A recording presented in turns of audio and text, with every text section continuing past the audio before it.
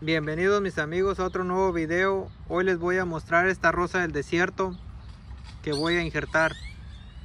Esta rosa del desierto la habían injertado, pero como estuvo bien frío, se le secó el injerto. Aquí es donde iba el injerto que tenía la, la planta y ahora tiene nada más el, el color original de la planta que es. Esta planta es un color rosa.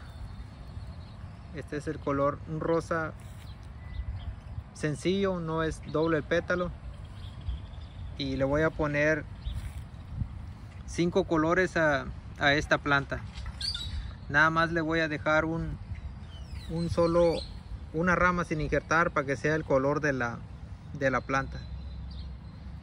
Esta ya es una planta grande, nada más que ya le hace falta ponerse en otra maceta para levantarla para arriba porque está muy abajo. Ponerle más tierra y y levantarla para arriba. Nada más que estaba mirando en esta planta que no no le quitaron este alambre que tiene aquí.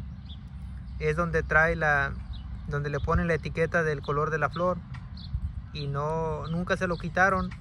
Y aquí se le quedó el alambre ya todo en la, en la planta. Ya se le se le encarnó todo aquí así donde va y así el alambre se lo, se lo quito yo, se le va, se puede podrir la planta. Aquí está el pedazo que tiene donde está todo pegado, que le ciñó toda la planta aquí. Y esta me la trajeron para injertarla. Le voy a poner cinco colores. Tiene muy bonito su tallo. Ya es una planta grande esta. Y ya nada más le voy a poner cinco colores de aquí le voy a poner los de esta altura el color que le, le voy a poner a la planta. Le voy a poner cinco colores diferentes y nomás le voy a dejar una rama para que sea el color original de la planta.